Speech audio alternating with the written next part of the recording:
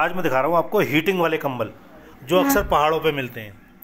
देखिए इस तरह से इसको प्लग इन किया जाता है और इस तरह के ये कंबल होते हैं इसमें ये डिवाइस लगी होती है जिससे पूरे कंबल में हीट हो जाएगी।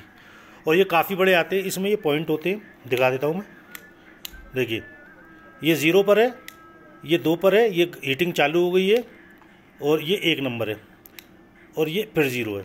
तो आपको जो जैसे जितना गर्म चाहिए वो मिल जाएगा और ये बहुत ही ज़बरदस्त चीज़ है।